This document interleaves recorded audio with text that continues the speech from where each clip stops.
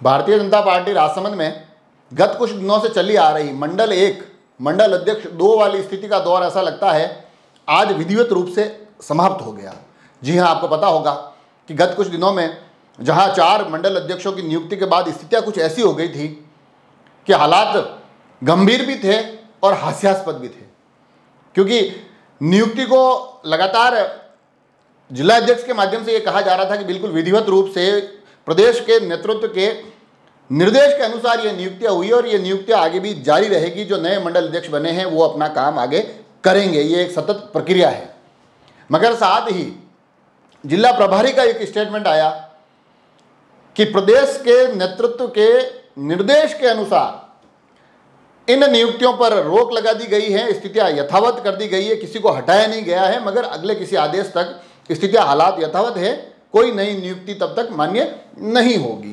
तो कुल मिलाकर ये पूरा मामला हुआ था, उसके बाद बड़ी कन्फ्यूज़न वाली स्थिति हो गई थी कि किसकी बात मानी जाए, किसकी बात नहीं मानी जाए, आखिर इस पूरे पूरे मामले का प्रकरण का सच क्या है?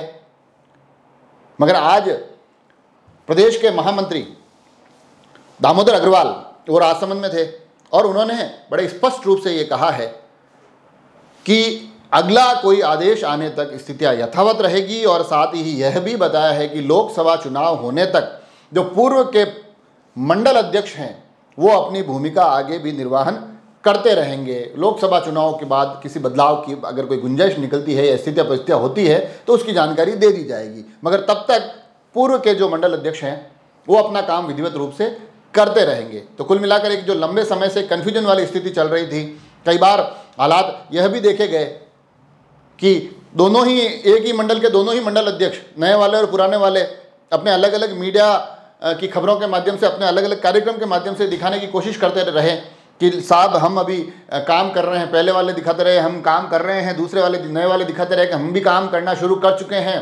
तो ये स्थितियाँ बड़ी ही हास्यास्पद हो गई थी, बड़ी कन्फ्यूज़न वाली हो गई थी। तो आज उन पर ऐसा लगता है कि विराम लग गया है। देखिए आखिर इस पूरे मामले में संगठन महामंत्री दामोदर अग्रवाल का क्या कहना है? कोई विवाद नहीं है। दो चार घंटे संवादहीनता रही है।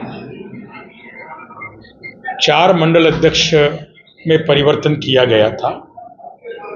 उसमें से तीन मंडल अध्यक्ष नाथक द्वारा विधानसभा के माननीय प्रदेश अध्यक्ष जी ने एक बार कहा कि चुनाव तक पूर्व को यथावत रखना है।